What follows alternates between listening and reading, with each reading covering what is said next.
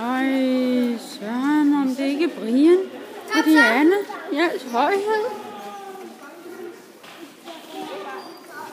Og den anden, det er Charlotte Næl Jensen, min anden nabo.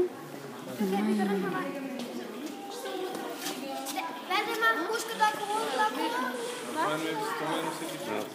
Ja. Så får vi alle aberne med. Nej, Louis, sidder du derinde, Louis?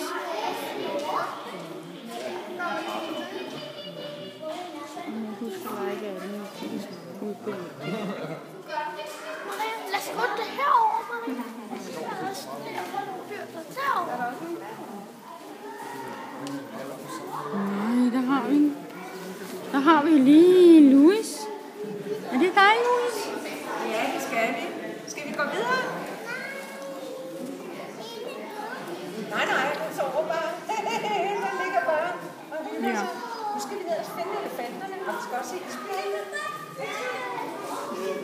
Og den ene, den har en unge siddende på maven.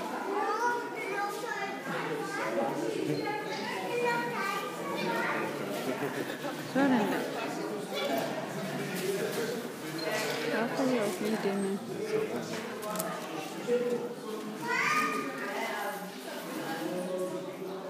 Sådan.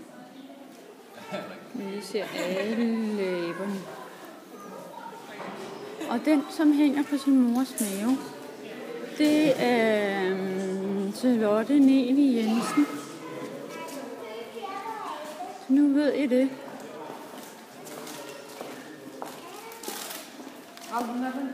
Og det er interviewet, som er moren.